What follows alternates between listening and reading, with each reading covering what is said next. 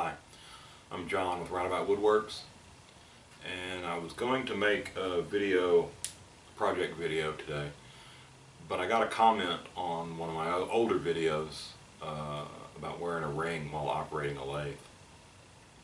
So I thought today I would do a video about shop safety. Uh, When I was in junior high school, all those years ago, I had the greatest shop teacher that any kid could have had. Uh, his name was David Shock. Uh, and he was awesome. Uh, but he instilled in us the, the, I don't know what you call it. You have to have presence of mind when you're doing anything with something that can hurt you.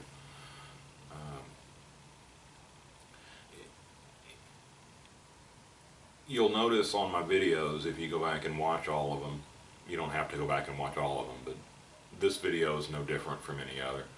I don't have a disclaimer or an admonition warning you or advising you to be careful and, um, you know, keep your hands away from spinning blades and all that. If you're standing in your shop or in any shop, surrounded by machines that uh, have sharp blades and belts and pulleys and uh, that fling wood and you know basically allow you to, to turn wood or cut wood or wood is harder than you are. And if you're standing around a bunch of machines that uh, can chew it up and spit out sawdust and you don't recognize an inherent danger then you've got bigger problems than a ring on your finger or a watch or long hair or long sleeves or, or whatever. Uh, I, I appreciate your concern for my safety and I appreciate your concern for the safety of people that might watch me. Uh, but you're not in a position to offer advice. If you were standing here in my shop or I was standing in your shop we can have conversation about uh, what's dangerous and what's not dangerous.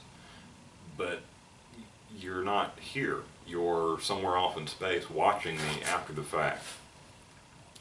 And that's one of the that's one of the things that's hardest about making videos is keeping up one end of the conversation when there should be two ends of the conversation. You should be talking back and forth with me.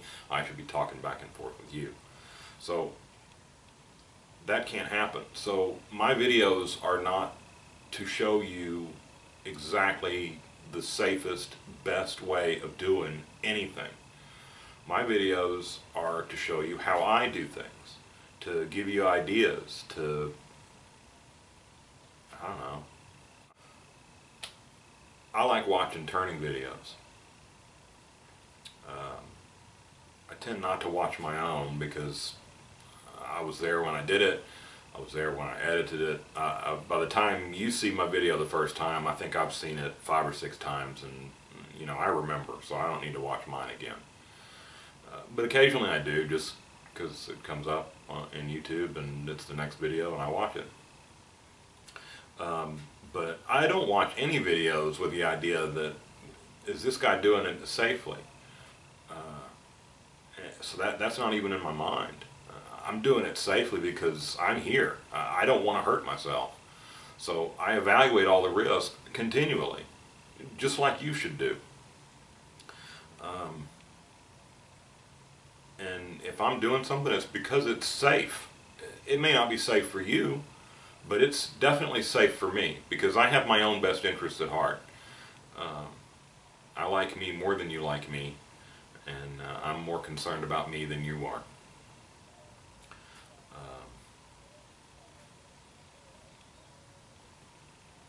that, that's really all I have to say about safety. Uh, I do things that that may be against the rules sometimes. Um, there's no guard on my table saw. I keep my hands away from the blade. I use push sticks.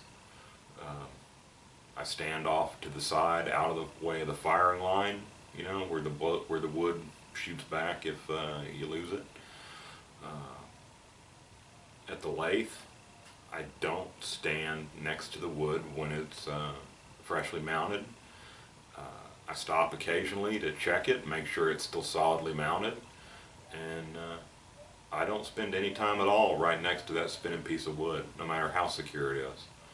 Uh, I have a switch here at the tailstock end of my lathe, so I can, I'm standing three feet away when I turn the lathe on. Especially the first time, I'm gonna stand back and, and watch, see if it, if it comes off.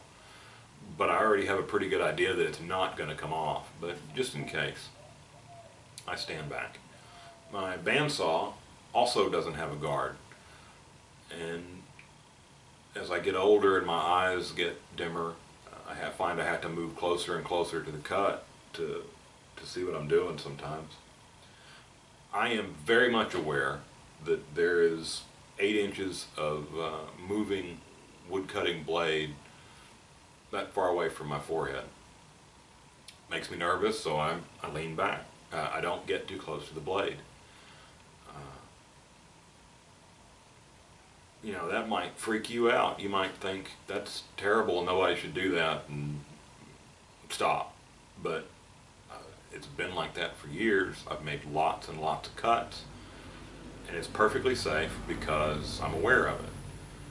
You know, I don't open the rear enclosure and stick my hand in it while the motor's running because no benefit and uh, it's dangerous. Uh, but wearing a ring on the lathe doesn't bother me. Wearing a ring while I'm working on the table saw doesn't bother me. Uh, it's too hot to wear long sleeves in here usually, but uh, in the winter months, I'm sometimes wearing long sleeves.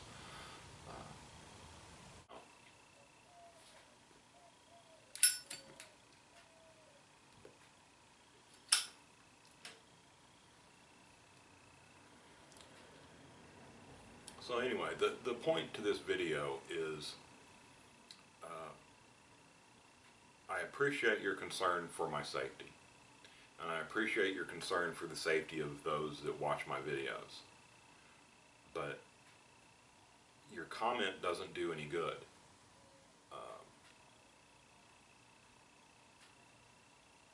and I don't know, uh, you know, I'm not saying this to be mean. I'm just saying this because it's completely ineffective. Um, and I don't really know what else to say about that. Going to do a, a, blog post. Yeah, I have a blog.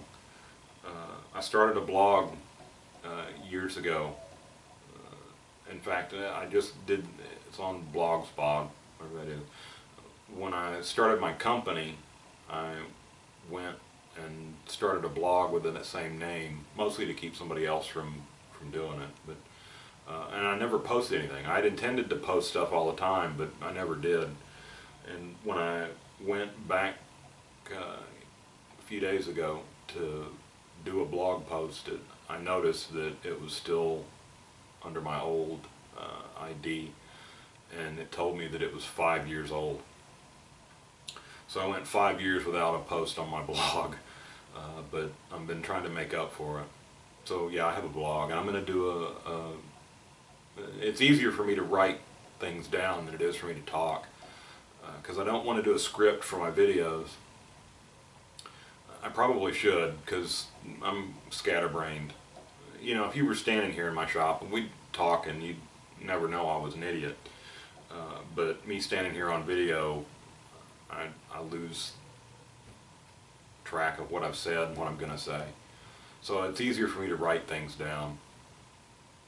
And uh, so I'm going to do a blog post about safety and I'll, I'll put the link down below and I'm going to link to the video in the blog. Uh, but anyway. Uh, again, I'd like to thank y'all for subscribing. Uh, I really do thank you for all the comments and emails. That means a lot to me. It means more to me than I thought it would back when I didn't have any. Uh, it's it's nice to know that uh, it's nice to know y'all. Uh, I don't know what the word is. Anyway, I appreciate y'all. Uh, and if you haven't subscribed, if this is the first video of mine that you've seen, uh, they're not all like this. Uh, some of them I actually do some work. Uh, anyway, if you haven't subscribed, if you're not a subscriber now, uh, go ahead and subscribe. It makes it easier to find my videos. That- That's I don't get anything from subscriptions. Um, I don't actually get anything from these videos uh, monetarily. I don't I don't make any money from these videos. Uh, anyway, uh, trying to come up with a catchphrase, but I don't have one. Anyway, y'all see me next time.